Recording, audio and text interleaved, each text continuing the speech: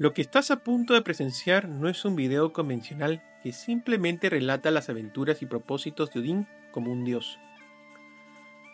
A diferencia de otros videos que pudieses haber visto anteriormente, este te ofrecerá una explicación etimológica desde la perspectiva divina acerca de los diversos personajes que envuelven los poemas y leyendas relacionados con Odín. Así que bienvenido a las leyendas de Odín, narradas desde la lengua de Dios.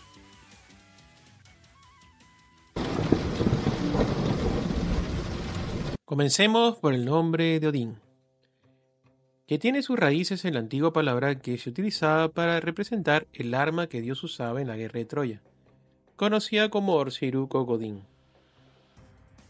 La palabra Godín, en este contexto, se traduce como es de Dios. Sin embargo, Odín también es representado por otra arma, denominada Gumnir.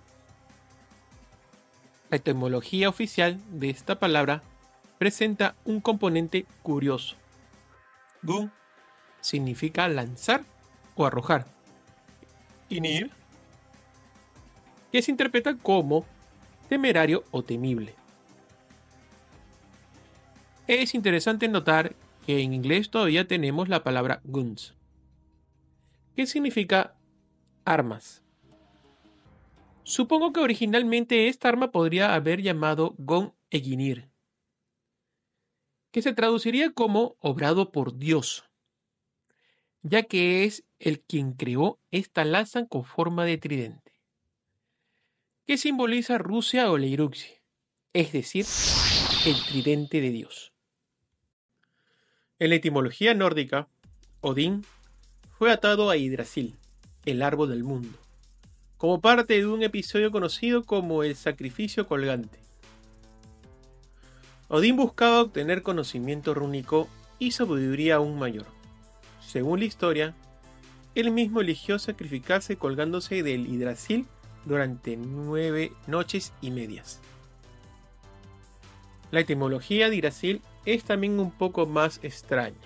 Y se dice que este es uno de los nombres de Odín,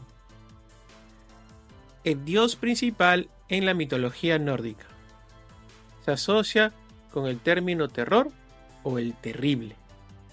Este nombre refleja naturaleza poderosa y a veces aterradora de Odín.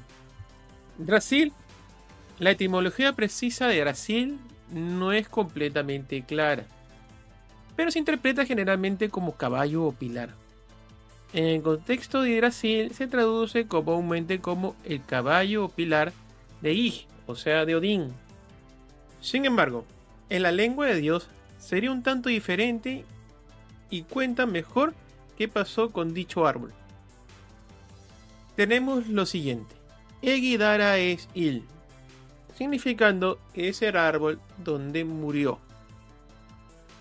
significando luego viejo origen del jefe, siendo Guidarícil.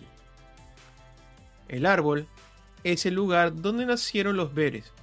Fue un buen símbolo para colgarlo a Odín.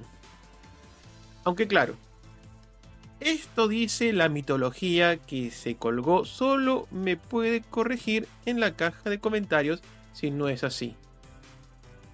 Muy alejado de esto, en realidad murió amarrado por sus asesinos. Durante este tiempo, Odín sufrió y finalmente ganó una comprensión más profunda de las runas y de los secretos del universo. Este sacrificio simboliza su búsqueda constante de sabiduría y el precio personal que está dispuesto a pagar por obtenerla. Este episodio es descrito en las fuentes nórdicas, como el poema de Javamal del Eda poético. Sin embargo, el único que conozco que supo traducir las runas en los tiempos modernos es Alexander el Zar, que en su segunda vida fue Odín o Alejandro Magno. Los que conocen la historia de los Veres saben que Dios murió amarrado por el traidor Yuri. Esta historia la pueden encontrar más extendida en el libro de los payos del señor Michel Rodellas.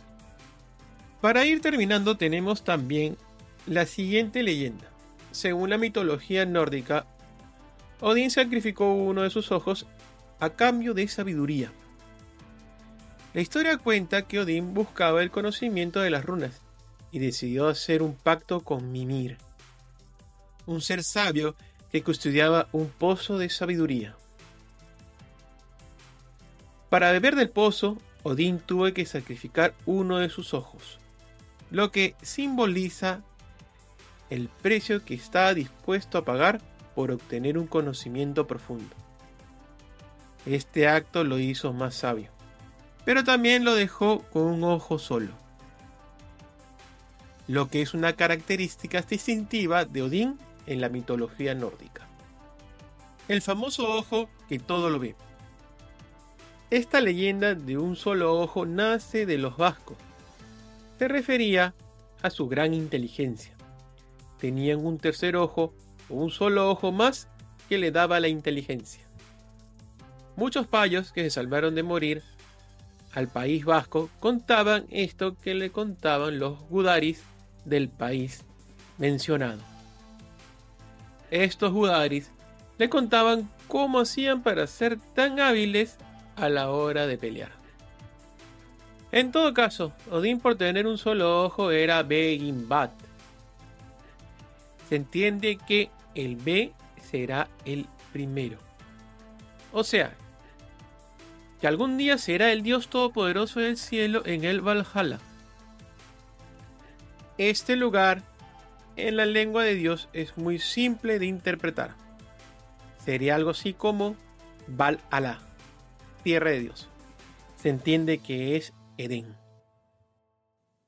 Por lo tanto, para terminar, Odín es Godín, que significa de Dios. Gumnir es Gon Eginir, que significa obrado por Dios. Hidrasil es Egidaraes Il, significando es el árbol donde murió. Cambiaría su traducción por viejo origen del jefe, siendo Gidaricil. El famoso lugar de Valhalla es Valhalla, que significa tierra de Dios. Como ven, para la lengua nada está oculto, y las palabras deslumbran el verdadero significado de la historia de Dios pero me gustaría leer en la caja de comentarios sus propias interpretaciones que son siempre muy interesantes. El libro Istroila ya está a la venta. Puedes adquirirlo en físico y en formato digital en los comentarios o en la descripción del video. Gracias. Espero que les haya gustado este video. Si te gustó el contenido y la edición, te pido que me dejes un like o te suscribas a mi canal recomienda este contenido a otros. Te habló Henry y te deseo muy buenas noches.